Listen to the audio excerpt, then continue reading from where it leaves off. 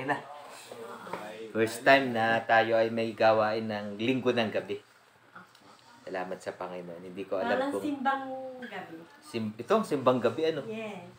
Simbang gabi. Alam niyo sa pagka sa mga gawain ng Panginoon, ang isa sa pinakamahalagang bahagi talaga ay yung message. Kasi doon nagkakaroon ng pagkakataon ng Panginoon na magsalita. Oh, pastor, pa, paano magsasalita ang Panginoon doon sa ganun? Mahiwaga. Ako nga eh, nung unang attend ko, nagtataka ako, bakit yung pinapangaral ng pastor ay parang tungkol sa akin? Pero hindi naman niya ako kilala. Sabi ko, ah, hindi ko naman naikwento ang buhay ko doon sa kaibigan ko na nag-invite. Pero sa pagtatalakay ng pastor, kulang na lang ay kulang na lang ay banggitin yung pangalan ko. Kaya paano mo masasabi na ang Diyos ay hindi nagsasalita? Nagsasalita. Hindi nga alam eh. Alam mo, ako sa totoo lang, pag ako'y nangangaral, hindi ko alam kung anong ginagawa ng Diyos sa mga nakikinig. Basta pinaparating ko lang yung mensahe. Pero yung development naman ng buhay nila, nakikita ko, ah, napakasisigla na itong mga batang ito. At talagang ano, sila na talaga yung nag-i-initiate na magkaroon ng gawain. Nagkaroon nga kami ng ano eh, ng youth service. Inilons namin sa sa Lucena. Hindi nga lang natuloy kasi ang gusto ng aming yung mas mataas sa amin mag-concentrate sa labas. Na sa halip na magkaroon ng youth service ay pumunta na lang doon sa mga lugar nung kung taga yung mga kabataan na mga bago. Kaya ano, natutuwa ako dun sa mga kabataan sa church kasi nakikita ko yung kanilang ah, pagmamahal sa Diyos. Naalala ko nung ako'y kabataan, alam ninyo, Nanay Carmen, 15 years old ako na makakilala ko sa Panginoon. January 1991. Ang tagal na, no? January 1991. May ginawa ang Diyos sa buhay ko. Bumago ng aking pagkatao. Alam ninyo, walang araw na hindi ko gustong pumunta sa simbahan. Always present ako sa morning prayer. Kahit ako'y may pasok sa school, gumigising ako ng maagap, napunta ng maagap sa church, nananalangin bago pumasok sa school. Pagkagaling ko sa sa sa school ay ano, diretso na ako sa sa sa church. Tinatakbo ko lang. Tinatakbo ko. Yun bang nagdadrive sa iyo ay dahil naranasan mo ang Panginoon. Hindi na kailangan ng pastor na, oh, atin ka. Walang ganon. Ako talaga yung, ano, sabik na sabik na pumunta sa gawain ng Panginoon. At nakikita ko ngayon yun doon sa mga kabataan namin. Mga, ano, talagang masisigasig. Sabi ko, ah, Panginoon, sana'y huwag mawala yung apoy itong mga batang ito. Kasi sa totoo lang, ang pastor, hindi siya bumabago ng buhay. Nangangaral lang siya ng salita ng Diyos. Yung salita ng Diyos ang bumabago ng buhay ng tao. Malay ba naman nung pastor na yun na habang nangangaral siya, ikinakausap ako ng Panginoon. Kaya nung manawagan siya ng panawagan ng pagtanggap sa Panginoon, talagang dalawang kamay ako na tumaas. Pero yun ay maraming beses ko nang ginawa. Kasi sa mga born again church, yung pagpapatanggap ay pangkaraniwan na yun. Kaya nung ako'y, nung manawagan siya, Actually, sa tuwing may nananawagan, nagtataas lagi ako ng kamay. Pero yung kumbaga, sa puso ko ay hindi pa yun. Ano? Yun, yun lang moment na yun na talagang naramdaman ko na ang Panginoon ay kinakausap ako. Mahiwaga yung mga ganong mga pangyayari sa buhay ng tao pero naranasan ko. Kaya ako'y masiglang masigla na at ang ikinatutuwa ko sa Panginoon, hindi naging huli sa akin ang lahat. Ngayon, masigasig ako. Ako nga ay nagigilty. Pag may may times na, halimbawa, umaga, hindi ako nakapanalangin. Ah, Panginoon, patawad po. Yung bang late ka na, may pupuntahan ka. Para bang sa iyo ay sa iyo ay malaking kasalanan na. Pero sa totoo lang, dahil sa mapagbiyaya ang Panginoon, sige lang, ituloy mo lang ang paglilingkod sa akin. Kahapon ay tinuruan ako ng ng Panginoon. Kasi, ang kami papunta sa sa Kabinti, meron kasing Christmas party ng lahat ng church ng JCF. Ang usapan ay ako'y magmomotor kasi hindi na ako kasya sa, sa sasakyan. Ang nangyari, eh, sige, magmomotor na lang ako sa puso ko. Oh, di ako, nakakapagod mag-drive, ganon. Pero sabi ko, sige, Panginoon, pupunta ako. Kasi, syempre, kaya ka ba pupunta dahil ikaw ay naka, nakasakay, hindi ka nagdadrive, ano? Pero sabi ko, kahit na ako ay hindi sasakay sa kotse o sa sasakyan kung ano man dadalhin, pupunta ako. Alam mo nangyari? Pagdating ko doon, wala sila. Yung mga taga Quezon. Sabi ko, ah, ay baka naman nasa biyahe na. Tawag ako ng tawag, walang nasagot. Yun pala, hindi sila pupunta. Kasi nga, yung isang pastor, si Pastor Danny, ay ang daming schedule nung araw na yun kahapon. Hindi niya alam kung paano pagkakasyahin yung sarili niya sa maraming schedule. Si ano naman, yung aming pastora, ano naman siya, nagpe-prepare ng Christmas party para ngayong araw na ito. Kaya talagang ano, sabi ko, oh, hindi mo lang ako sinabihan na hindi sila pupunta. Pero purihin ng Panginoon kasi tinuturuan ako ng Panginoon na yung bang, oh, hindi man lang ako sinabihan, yung ganong attitude na ikaw ay sasama ang loob. Sabi, ah, Panginoon, salamat. Kasi sinadya mo ito. Dahil alam mo ang ugali ko. Na pag mga ganong sitwasyon ay madali ako, ah, hindi man lang kayo nagsabi sa akin. Pag Christmas party natin, hindi rin ako pupunta. Yung mga ganong attitude. Yun ay hindi kalugod-lugod sa Panginoon. Immaturity. Kaya sabi ko, ah, salamat Panginoon sa pagtuturo mo sa akin na na ako ay na talagang sila ay hindi lang talaga ako nasabihan pero hindi nila sinasadya. Kumbaga ang Panginoon ang talagang naglagay sa akin doon sa ganong sitwasyon. Kaya salamat sa Panginoon, iningatan ako, pinagpala ako ng Panginoon. Anong pagpapala, Pastor? Pera ba? Hindi. Napagtagumpayan ko yung ganong ugali sa sarili ko. Ano? Kaya ang Panginoon, sa totoo lang, ang Panginoon pala, hindi tumitigil ng paggawa ng mabubuting bagay sa atin. Madalas, inilalagay niya tayo sa sitwasyon na hindi natin gusto. Para ano? Para turuan. Kasi, ang, sa totoo lang, wala kang matututunan pag ang lahat ng nangyayari sa iyo ay yung gusto mo. Wala. Nakita ko yun sa pagkilos ng Diyos. Kasi sa, dahil sa pagiging mapagbasa ko ng Biblia. Kung, kung sa pagtuturo at pagtuturo, ang ginagamit ng Panginoon mula sa Genesis hanggang Revelation, yung mahirap na sitwasyon. Pero giniginto ka. Ginagawa kang ginto ng Diyos sa pamamagitan ng apoy. Ano? Kaya salamat sa yung sinabi, Anasel, na sabi mo sa akin. Tingnan mo yung aura mo ngayon. Diba? Ibig sabihin, pansin niya, nung dumating ako dito at yung ngayon, yung unang pagpunta ko dito, nakita ako ni Anasel at naikumpara niya yung aura ko ngayon. Ibang-iba. Pero ako sa akin sarili, sa puso ko, sigurado ako na iba na ako. Hindi na ako katulad nung ano. Pero yung appearance, napapansin ng tao. At ramdam ko yun sa aking sarili. Alam ninyo, ito yung pinaka-iingat-ingatan ko. Iniingatan ko yung relasyon ko sa Panginoon. Anong sumisila, sumisira sa relasyon natin sa Panginoon? Una, kasalanan. Ikalawa, kasalanan. Ikatlo, kasalanan. Yan lang po yung sumisira ng relasyon natin sa Panginoon. Alam niyo, doon ko napansin na pag ako ay hanggat yung relasyon ko sa Diyos ay maayos, yung pakikitungo ko sa tao, maayos din. Pagka kaharap ko sila, nakakapagsalita ako ng ako'y kumpiyansa, kumpiyansa sa sarili. Kasi walang bumabagabag sa loob ko. Ganun ka, ka kaganda pagka ang relasyon natin sa Diyos ay nasa maayos na kalagayan. Wala kang tao na ano, na, na ikaw ay nag-aalanganing makisama sa Kanya, baka, baka kung anong sabihin. Meron ba akong pag-asa na, ay, hindi ako pababayaan ng Panginoon? Nung pumunta ako sa, nung mangaral ako sa Dapdap, ramdam ko sa akin puso. Yung bang pakiramdam na nai-intimidate. Kasi ibang church yun eh. Ibang mga mananampalataya yun eh. Pero palibhasa, sa aking sarili, yun ang problema ko. Pero palibhasa, alam ko sa sarili ko na maayos ang relasyon ko sa Panginoon. Pag tayo ko sa pulpito, ramdam ko na kaagad yung, yung tapang na galing sa Holy Spirit. Ang hirap po nung ipaliwanag. Pero habang nagsasalita ako, ako'y tuwan-tuwa. Kasi bakit? Dire-diretso ako ng pagsasalita. Hindi na puputol. Dating nang dating sa akin yung sinasabi ko. Wala naman akong outline. Ano? Kaya ako nagpapasalamat sa Panginoon. Tama yung sinabi mo.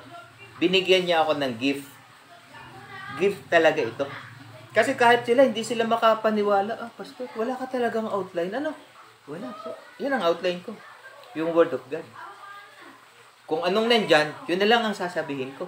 At kung ano yung paliwanag na ipagkaloob sa akin ng Holy Spirit, bakit mo, Pastor, sinasabing Holy Spirit? Aba, eh, na- naniniwala ako na yun ang role na ginagampanan ng Holy Spirit. Sabi nga ng Bible, magsasalita ka sa mga hari, magsasalita ka sa mga tao na may matataas na katungkulan.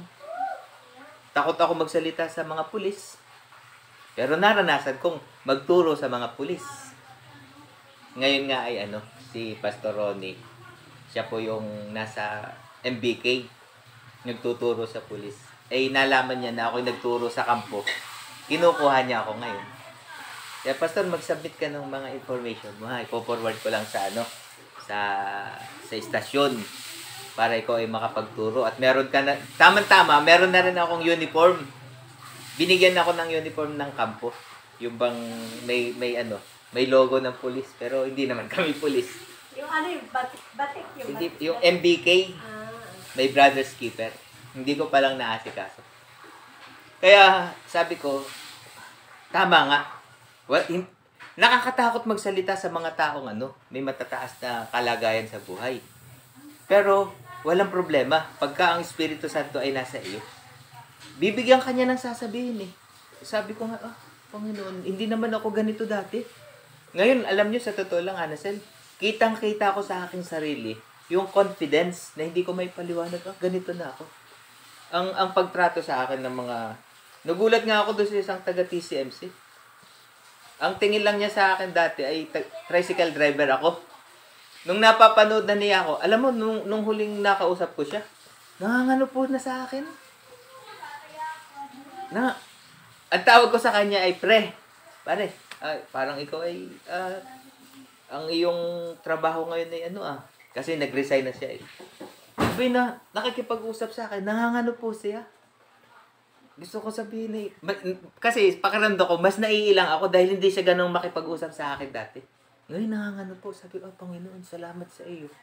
Kasi, bakit siya nangangano po sa akin? Kasi nakikita niya marahil sa akin yung yung bang authority na nagsasalita ka. Napapanood kasi niya eh. Si, ano, si Adong napapanood ko din. Nagtatatak ng ano. Nagtatatak ng, akala ko, kapatid ni, ni Julius Luces. Pinsan ko po yun.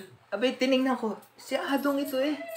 Ayun, si Adong nga kasi nandun si ma'am. Mas magandang lalaki po ako. Ah, may karapatan ka. Ano?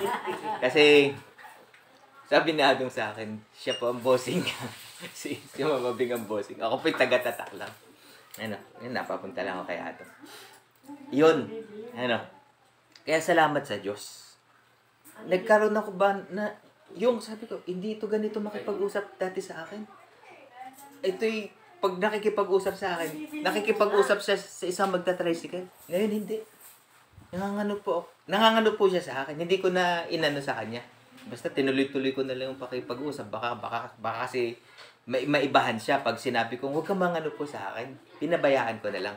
Pero yun po ay pagkilos ng Panginoon. At ah, ngayon, salamat sa Diyos dahil mga kasama ko pong pastor. Pastor ng, ano siya, bishop na siya. Talagang sa karanasan sa pagpapastor ay napakatagal na siya ay parang Methodist pastor dito sa Tayabas. Alam nyo, ini-invite ako. Sabi, Pastor, mangaral ka doon sa ano? Doon sa online. Baka gusto mo. Ay sabi ko, oh, parang ayoko. Sabi ko, oh. Kasi si Pastor, nag-o-online din siya. Nangangaral din sa online. Gusto niya, mangaral din ako. Hindi ko lang tinanggap kasi ramdam ko, oh, mahirap. Yung ma- mako-conscious ka dahil may nanonood sa iyo. Eh, awan ko, pag nagkita uli kami. Kumbaga, ako'y, ako'y natutuwa kasi sila mismo yung nagre-recommend. Kinukuha kang mangaral sa church nila. Alam mo kami sa sa church namin dati, hindi kami hindi namin pinapayagan na may ibang pastor na mangangaral sa amin pag galing sa ibang fellowship. Kahit nga ka-fellowship na namin eh. Pag minsan hindi namin basta-basta ina-allowed eh. Kailangan yung pastor na yun eh merong malaking gawain. Marami ng member, may mga napatunayan na. pagkatulad ko, wala ako talagang church building dito sa Tayabas. Tapos i-imbitahin, hindi nila ginagawa yun. Pero ngayon, ginagawa sa akin ng Panginoon. Marami silang members na ano, na pinapayagan akong mangaral. Ako'y naniniwala na hinipo ng Panginoon ng puso nila. Kasi, sabi nga nung isang pastor, si Pastor Vero naman ay walang ministry, bakit mo iniimbitahan? Di ba? Wala silang magagawa. Kasi, kalooban ng Panginoon. Ano? Ako, ayoko din, pero sabi niya, Pastor, dati nga, nung sinasabi mong ikaw ay backslider, ini-invite kita. Ngayon pa. I don't care kung wala kang church. Basta ang mahalaga sa akin, ikaw ay nasa Panginoon na uli. Mangaral ka sa church namin. Nakakadalwa na. Ngayon doon sa isang church sa kila pastor, ano, nakakadalwa na rin kung tutuusin. Kasi nung unang pangangaral ay prayer gathering ng mga pastor. Ay nandun yung mga member. Sabi ko, "Ah, Panginoon, salamat po. Ah, anyway, ang totoo, hindi ko talaga alam kung anong aking papangaral. Pero, hindi ko may paliwanag na dahilan. Pag malapit na yung mismong kaarawan, halimbawa, two days before, o kaya one day na lang, maya-maya ay ano, biglang may dadating sa akin na message na parang skeleton lang. Ah, Panginoon. Ang ganda nung katotohanan na yun. Yun ang ipapangaral ko bukas. Pagtayo ko dun sa sa pulpito, ang totoo, hindi hindi na ito ang ginagamit ko. Ito kasi may mga notes na oh. Ang ginagamit ko ay yung bago. Yun bang talagang mahihirapan kang maghanap? Oo, kasi wala akong mga natandaan doon eh. Ito, meron akong mga hina-highlights. May mga hina-highlights ako. Kaya mas madali sa akin maghanap dito kaysa dun sa bago. Pero sinasadya ko na dun, dun sa, yung bago ang, ang gamitin ko. Para ba hindi ka magre-rely doon sa ano, doon sa iyong mga footnote. Hindi ka magre-rely. Eh mapipilitan kang talagang totally magtiwala sa Panginoon. Pag nandun ah. Wala kang wala kang note, ma'am, tapos magsasalita. Ano? Ang Panginoon lang yan, ang Panginoon lang ang nakakagawa. Nakipag uh, nakipag-deal ako personally, nakipag-deal ako sa Panginoon at yun. Salamat sa Panginoon. Pero in my heart ay nandun na yung message, nandun na. Kumbaga sa tulong sa tulong na lang ng ng Panginoon. Kaya nai-deliver ko po ng maayos. Okay, babasahin na natin yung text ano, kasi nandiyan na si Ma'am. Na, naka-pink. Sige. Dito po tayo sa Lucas chapter 1. Mula verse 26. Kahit si Ma'am ay pagod na, ay salamat sa Panginoon. Inom muna ako ng tubig. Lucas chapter 1, verse 26. Nang ika-anim na buwan nga ay sinugo ng Diyos ang Anghel Gabriel sa isang bayan ng Galilea, ngalan ay Nazaret. Alam niyo sa Bi- Bible, parang dalawang anghel lang ang may ang pinangalanan. Si si Miguel, si Saint Michael ng Tayabas, at saka si Gabriel. Maraming angel, pero dalawa lang ang napangalanan. Ang ang isa pang napangalanan ay si Lucifer. Angel din kasi siya. Pinaka magandang anghel at pinaka talented na angel si Lucifer. Ah, sinugo ng Diyos ang anghel Gabriel sa isang bayan ng Galilea, ngalan ay Nazaret, sa isang dalagang mag-aasawa sa isang lalaki. Nakatakda ng mag-asawa. Na ang kanyang ngalan ay Jose, sa angkan ni David at Maria ang pangalan ng dalaga. Alam niyo, may iba't ibang kultura ang mga bansa sa pag-aasawa. At eh, sila hindi hindi natin katulad yung kanilang kultura. Sa kanila, pag ikaw ay nakatakda ng mag-asawa, itinuturing ka na nila na na asawa ka na, ka na nun. Kaya, kumbaga, ang kulang na lang ay yung wedding ceremony. Pero sa kanila, wala nang ibang lalaki na makakakuha kay Maria, kundi si Jose. Ganun ang kanilang kultura. Sa atin naman, ganun din eh, di ba? Ah, na ang kanyang ngalan ay Jose sa angkan ni David at Maria ang pangalan ng dalaga. Kung matatandaan ninyo sa Isaiah chapter 9 verse 6, inihula na talaga na merong ipapanganak. At yung ipapanganak na yun, yun yung Savior. Savior of the world. Actually, mali nga ang pagkaunawa ng mga mga Hudyo eh. Ang iniisip nilang savior, yung savior na ano, uupo uli dun sa trono. Kukunin yung yung kaharian sa Roman Empire kasi nung time na ipanganak si Jesus Christ, ang Israel under the government of Roman Empire. Ang pagkaunawa nila na pagdating nung savior ay ibabalik sa Israel ang kingdom. At pumasok siya sa kinaroroonan niya at sinabi, Magala ka, ikaw na totoong pinakamahal, ang Panginoon ay sumasa iyo. Sabihan ka ng anghel ng ganun. Ano ma'am? Napaka, talaga ah, sa dinami-dami ng babae, pagkakaabalahan ka ng anghel na puntahan para sabihin sa iyo yung magandang balita. Ano? Siya kasi ang napili ng Diyos. At ang Diyos hindi nagkakamali ng pagpili. At pumasok siya sa kinaroroonan niya at sinabi, Magala ka, ikaw na totoong pinakamamahal, ang Panginoon ay sumasa Biruin mo, sinabing pinakamamahal. Tapos sinabi, ang Panginoon ay sumasa iyo. Datapat siya'y totoong nagulumihanan sa sabing ito. Nagtataka siya. Ano kaya ibig sabihin ng sinasabi niya sa akin? At inisip sa kanyang sarili kung anong bati kaya ito. At sinabi sa kanya ng anghel, Huwag kang matakot, Maria, sapagkat nakasumpong ka ng biyaya sa Diyos. Nakasumpong ka ng biyaya sa Diyos, ibig sabihin, pinili ka ng Panginoon. Pag pinili ka ng Panginoon, may mission kang gagampanan. Ano? Ano bang mission ni, ni Maria?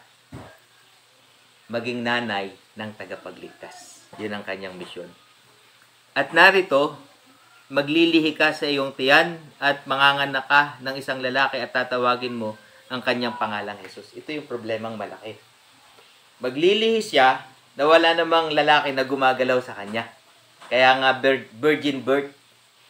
Walang ganong nangyayari at hindi yun pinaniniwalaan ng tao. Ano? Pero ang pamamaraan ng Diyos ay hindi nga katulad ng pamamaraan ng tao. Ano? Yung pangkaraniwan sa tao, wala lang yun sa Diyos. Ano? Pag gumagawa siya ng mga bagong bagay, talagang ikaw bilang tao, hindi hindi maliban na lang na ikaw ay manampalataya, manampalataya, saka mo lang matatanggap. Ano? Biruin mo. Sabi nung nung anghel, maglilihi ka, manganganak ka ng isang lalaki at tatawagin mo ang kanyang pangalang Jesus. May detalye na agad. Ano? O, hindi pa nga, hindi, hindi, hindi pa nga kami ah, ikinakasal. Kumbaga, imposible yung, kum, imposible yung sinasabi mo. Naalala ko si, si Sarah. Si Sarah ay matanda na at bukod sa matanda na baog. Ay sinabihan ng anghel na ano, mga nganak. Kaya si Sarah mismo nagsabi, imposible ang sinasabi ninyo. Sabi nga ng Biblia ay siya ay napatawa nung sabihin gano'n. Kasi ganun tayo. Pag imposible, mapapatawa ka na lang. Tigilan mo nga ako. Di ba? Mas madali nating hindi paniwalaan pag imposible. Ano? Kakaunti lang yung talagang nananampalataya. Ang problema ay paano kung ikaw lang magiging katawa-tawa ka sa maraming tao. Pero, kakampi mo ang Diyos. Pagka naniwala ka, kahit mas marami ang hindi naniniwala. Huwag kang matakot, Maria, sapagkat nakasumpong ka ng biyaya sa Diyos. Ah, verse 32, siya'y magiging dakila at tatawaging anak ng kataas-taasan at sa kanya'y ibibigay ng Panginoong Diyos ang luklukan ni David na kanyang ama. At siya'y maghahari sa angkan ni Jacob magpakailanman at hindi magkakawakas ang kanyang kaharian. At sinabi ni Maria sa anghel, paano mangyayari ito? Ako'y hindi nakakakilala ng lalaki. Ibig sabihin niya, King James Version kasi ito. Paano mangyayari yun? Wala namang lalaki na gumagalaw pa sa akin. Wala. Sabi ni, ni Maria. Kumbaga, parang sinasabi niya, kung si Jose ay matagal pa naman, ikakasal na nga kami pero matagal pa yun. Parang yun ang kanyang ibig sabihin. Ah, nasa na ba yun? Nawala ako. At sumagot ang anghel at sinabi sa kanya, bababa sa iyo ang Espiritu Santo. Ibig sabihin ng anghel, hindi talaga, wala talagang lalaki na gagalaw sa iyo. ito ang mangyayari, bababa sa iyo ang Espiritu Santo at lililiman ka ng kapangyarihan ng kataas-taasan.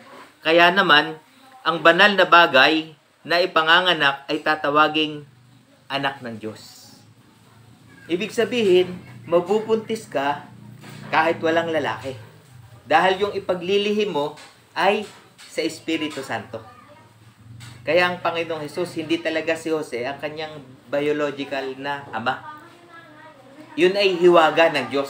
Himala ng Diyos. Sa totoo lang, kahit ako nagbabasa ng Biblia, hindi ko ito kayang ipaliwanag. Ito yung mga misteryo ng Diyos na ginagawa niya sa buhay ng tao. Kaya, kaya dito, nalagay sa panganib ang buhay ni Maria. Mapalad nga siya na napili siya ng Diyos. Ang problema, nalagay sa panganib ang buhay niya. Paano mo yun ipapaliwanag? Unang-una sa nanay at tatay mo. Anak, anong nangyari sa iyo? Alam ng, ng mga tao na ikaw ay mabuting babae. Alam nila na ikakasal ka na.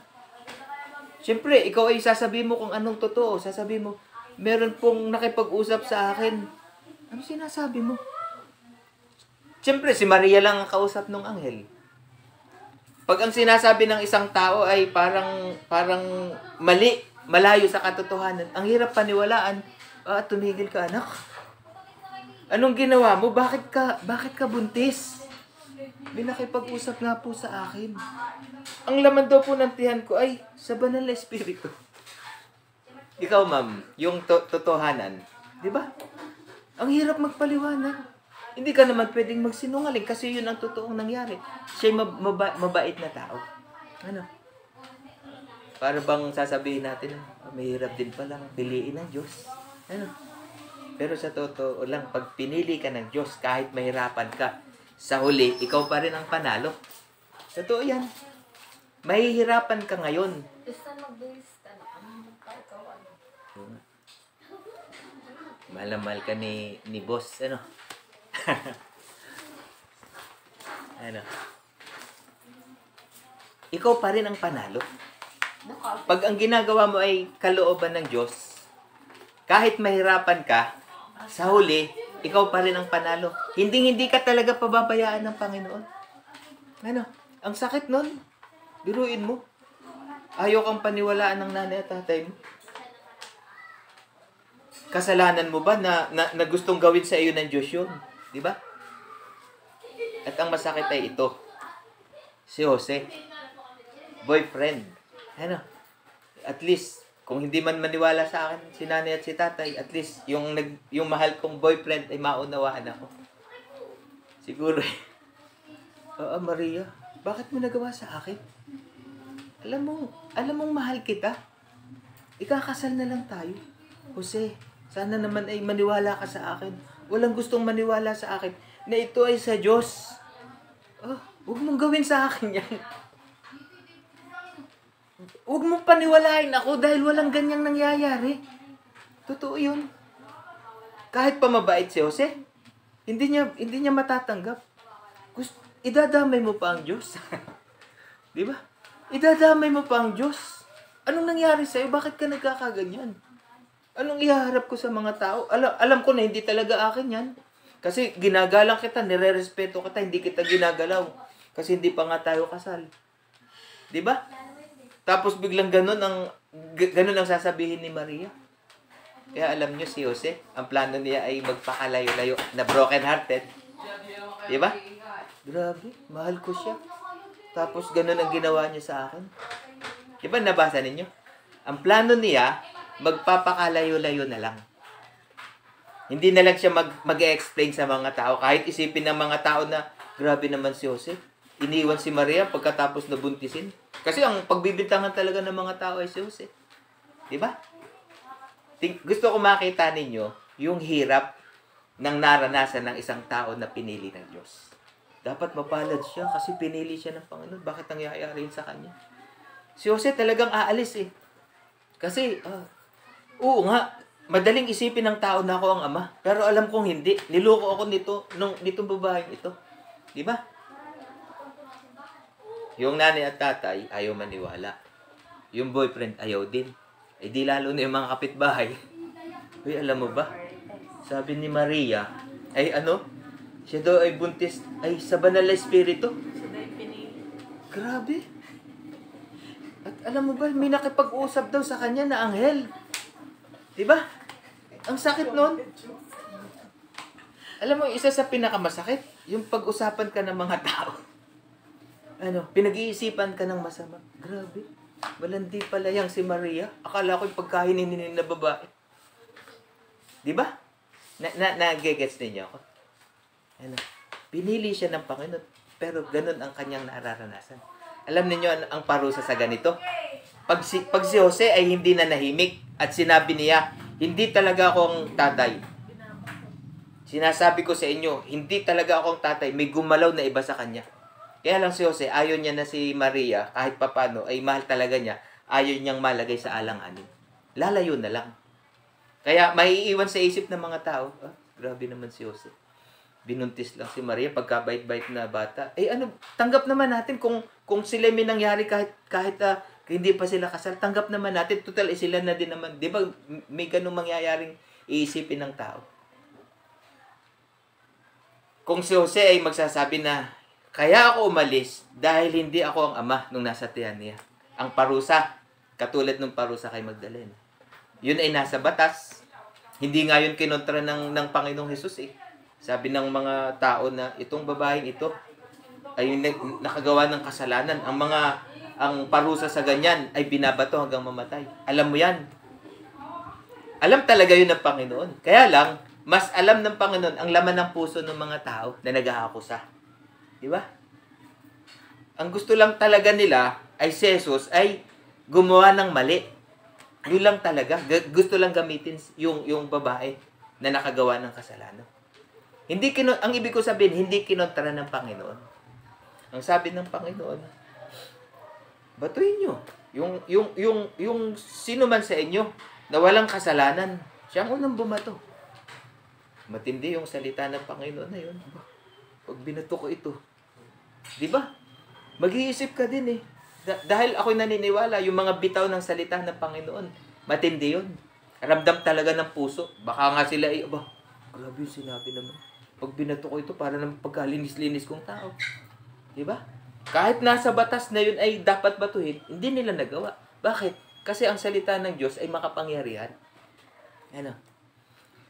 Ang hirap ng kalagayan ni Maria. Yun ang aking point dito.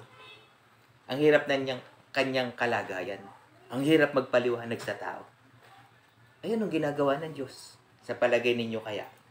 Ikaw ay kaya, kaya nandun ka sa ganun kahirap na sitwasyon ay dahil sa kalooban ng Diyos. Sa palagay ninyo, yung Diyos na mapagmahal, yung Diyos na makapangyarihan, pababayaan kaya siya na manatili sa ganung kalagayan. Ang mangyayari nun, parang si Maria ay napahamak dahil sa Diyos. Hindi yun papayagan ng Panginoon. By all means, ang tao nga eh, talagang gagawa ng paraan eh. Kung ang tao nakakagawa ng paraan para lang mailigtas yung kanyang gustong iligtas, para matulungan yung gusto niyang tulungan, eh di lalo ang Diyos. Ano? Oo. Marahil bilang tao iniisip ni Maria, sana hindi na lang ako hindi na lang ako yung pinili ng Diyos. Ano? Pero purihin ang Panginoon. Pinili siya ng Panginoon. Ibig ko sabihin na nandyan ang Panginoon. Pero huwag kang mag-expect na walang problemang mangyayari. Totoo yan. Yan ang realidad ng pagsunod sa Diyos. Pero ang kagandahan, ang Diyos ay kakampi mo. As long na ikaw ay namumuhay sa kalooban ng Diyos, maging kalaban ka na ng tao, pagsalitaan ka ng tao, ka na ng tao ng masasakit na salita, as long na ikaw ay tumatayo sa kalooban ng Diyos, hindi ka pababayaan ng Diyos. Ano? Si, si Jose, paalis na sana. Anong nangyari? Huwag mong iiwan si Maria. Di ba? Hindi hindi niya hindi niya matanggap ang paliwanag ni Maria. Eh yung paliwanag ng Diyos. Di ba? Diyos ang nagpaliwanag.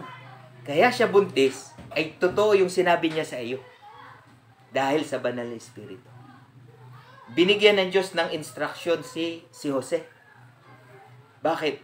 Hindi hindi niya kasi pwedeng pabayaan si Maria. Hindi pwedeng pabayaan ng Diyos yung mga tao na nagtitiwala sa kanya. na nagsasabi, karangalan ko po na pinili po ninyo. ako." Hindi pwede. Hindi pwedeng pabayaan ng Panginoon. Eh, dahil lang nakipag-usap ay anghel ng Diyos. Ano? Dahil ang paliwanag ay galing sa Diyos. Itong si Jose, na mabuti talaga ang kalooban, naniwala siya. Ang hirap lang talaga, na maintindihan natin kung bakit hindi niya mapaniwalaan si Maria. Di ba? Kasi, sa totoong buhay, wala talagang ganong nangyayari. Di ba? Kahit hanggang ngayon. At, at gusto kong sabihin sa inyo, gusto kong sabihin sa inyo, si Maria lang ang kaisa-isang babae na nagbuntis na walang lalaki. Kung kung sa panahon natin meron nang yung ano, yung bang may technology. Yun yun yun, pero yung katulad ng pagbubuntis ni Maria, walang katulad yun. Kaya pagka merong babae na magsasabi na siya ay ano, na siya ay buntis dahil sa dahil sa banal na espiritu, ay ano, hindi totoo yun. Ano? Yung virgin birth, kay Maria lang nangyari. Kaya yun po ay naka, naka, nakasama din dun sa ano eh, dun sa Apostles' Creed. Yung tayo nananampalataya sa sa virgin birth of Mary. Siya lang yung tanging babae na nakaranas ng ganon. Ano? Tingnan ninyo, yung Savior, yung tagapagligtas, yung kanyang pagdating dito sa mundo, napaka-espesyal. Di ba?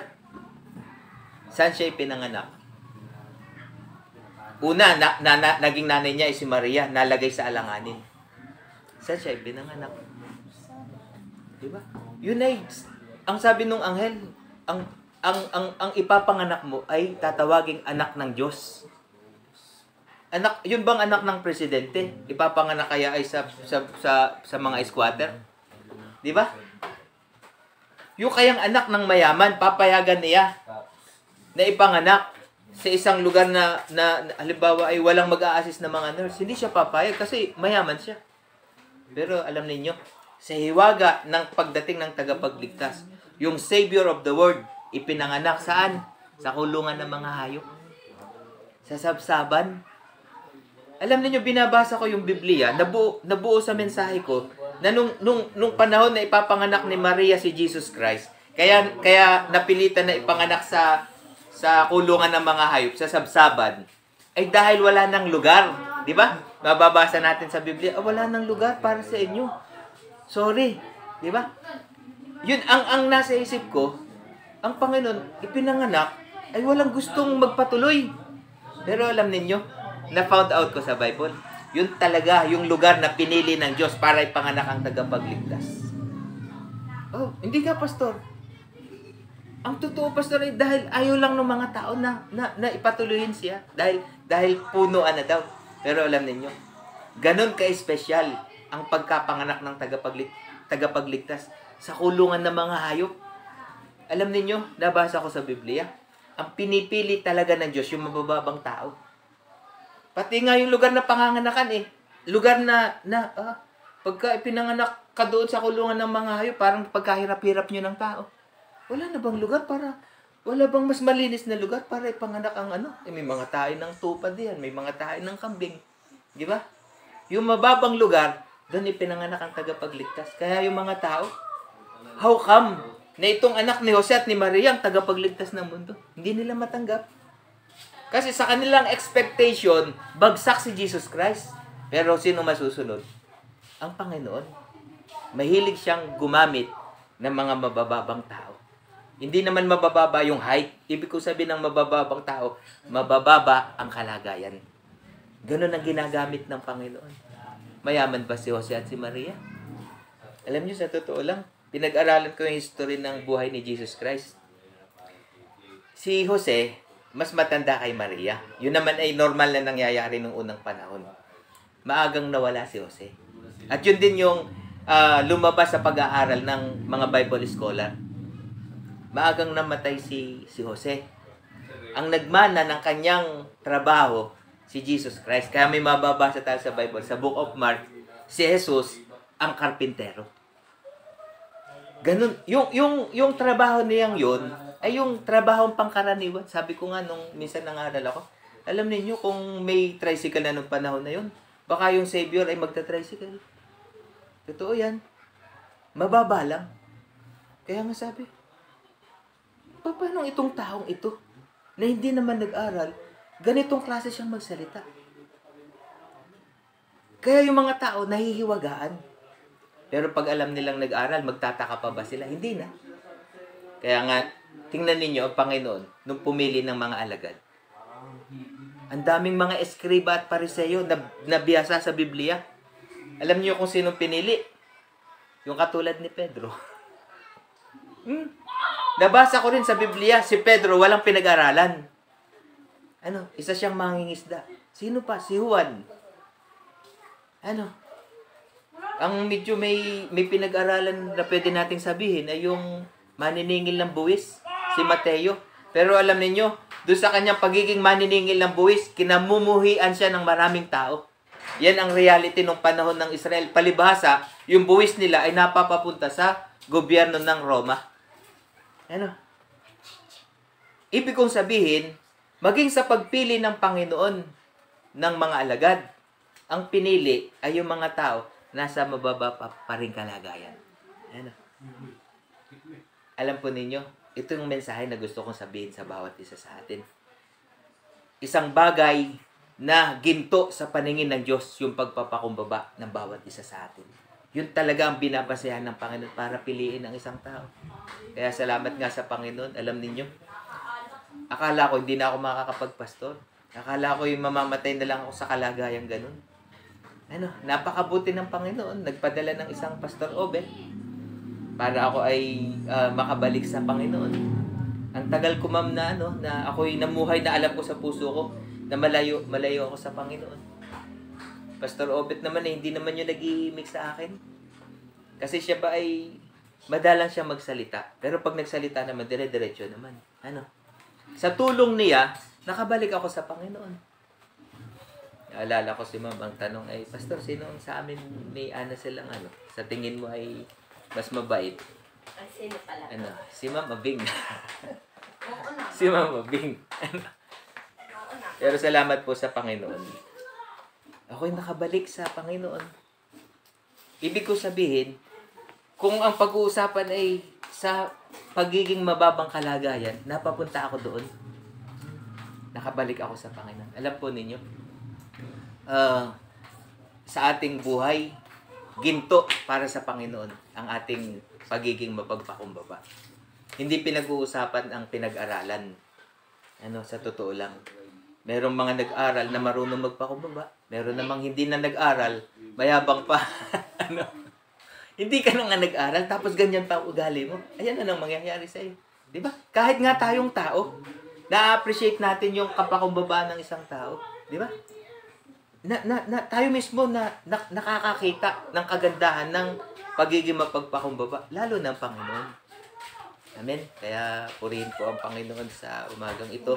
Kasi- ng tao na nakapag-aral talagang sila ay meron talagang kakayanan. Kasi merong isang illustration, meron talagang isang kwento na isang ito yung favorite kong kwento, Sige, yung. Mama Mangka. May makukuha ako kay, kay ma'am. Sige Yung po. Mama Mangka, ano, meron siyang isinakay na isang matalinong tao. Ano, habang sila ay namama, ah, namamasyal dun sa parang ilug-ilugan, ay parang tinanong siya nung ano, nung nung bangkero. Parang in-interview siya kung ano ba talagang, ano, ang, ah, in-interview siya nung matalino, nung sakay niya. Ano, ay di sila. Ang in-interview ang, in- ang in-interview ay yung bangkero. ay hindi po, yung yung yung Matalino. yung matalino, Matalino na sumakay. Ano? Sinong nag-interview? Yung pong ano, yung Bangkero. Bangkero ano po.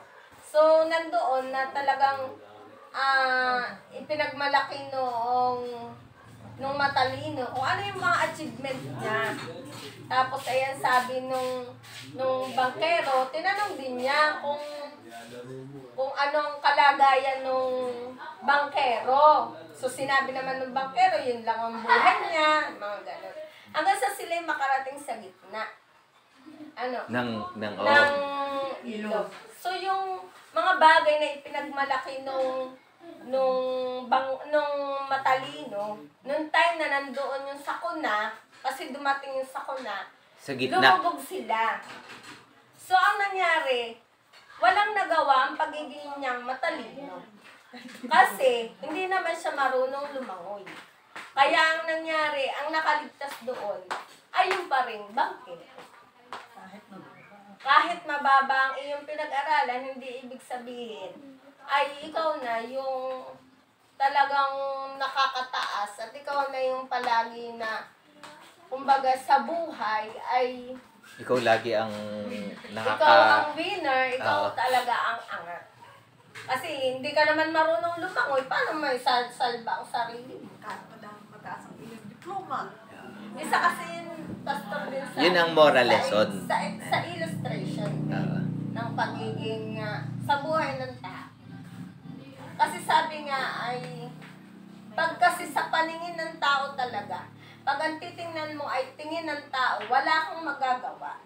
Pag dun ka bumase. Pag doon ka bumase. Oo. Kaya, kumbaga, kung kung tayo ay naandun pa rin sa faith, dun sa ano ng pad ng Panginoon, at doon ka talaga titingin, talagang ang biyaya at kaloob ng Panginoon ay laging paboray sa iyo.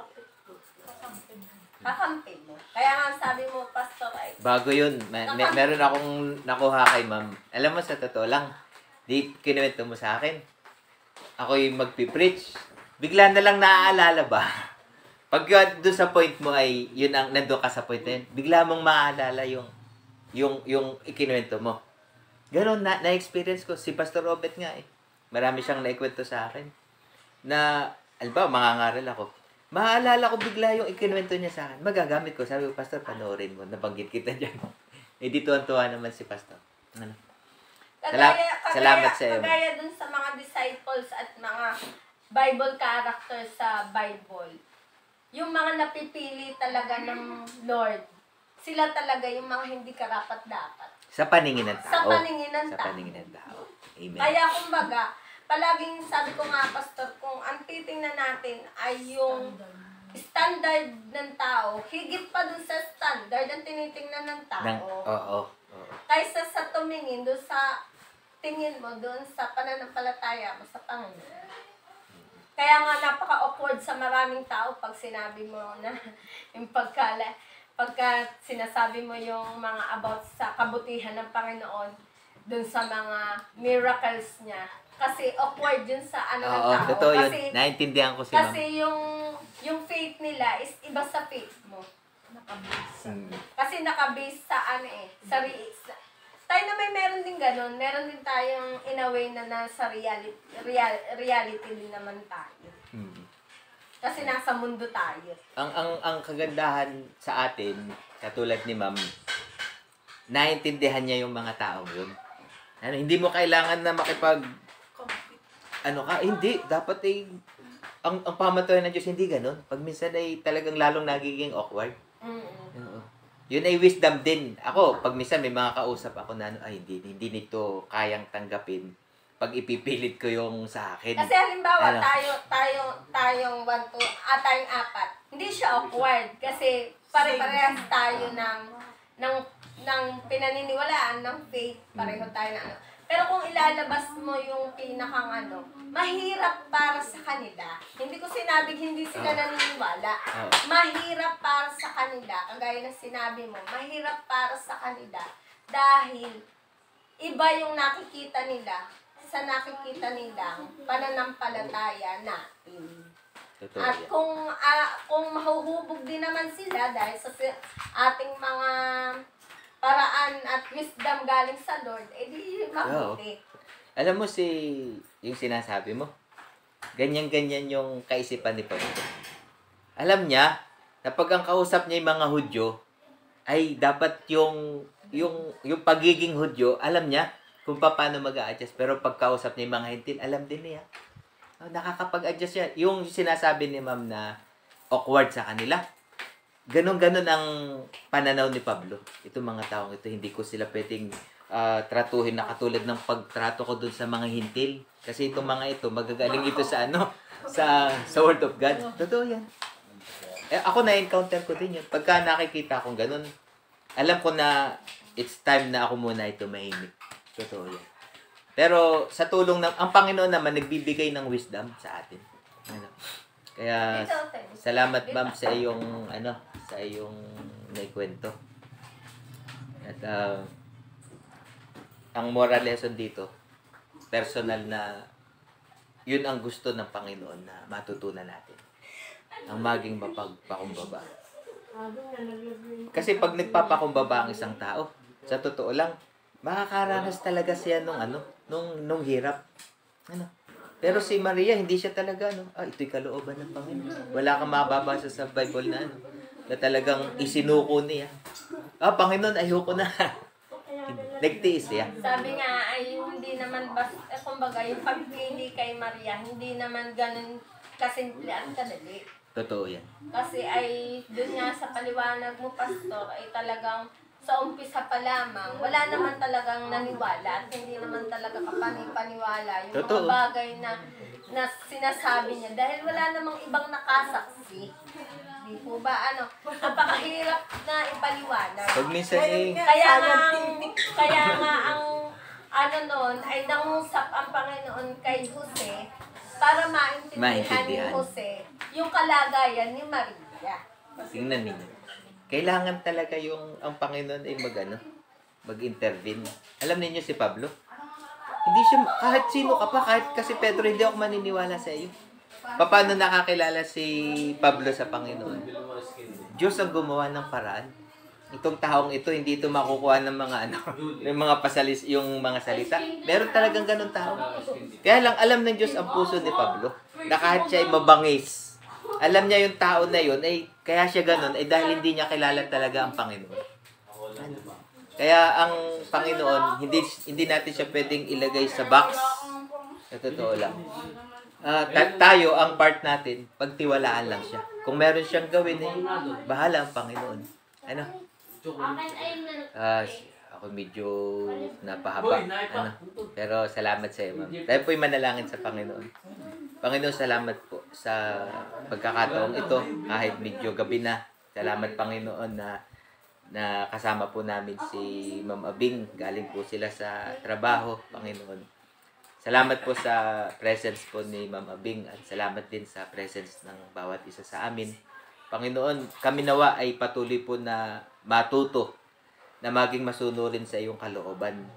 At yun, Panginoon, ang pinaka magandang bagay na pwede naming magawa bilang tao. Salamat, Panginoon. Purihin at sambahin ka magpakailan-kailanman sa ngalan ni Jesus. Amen.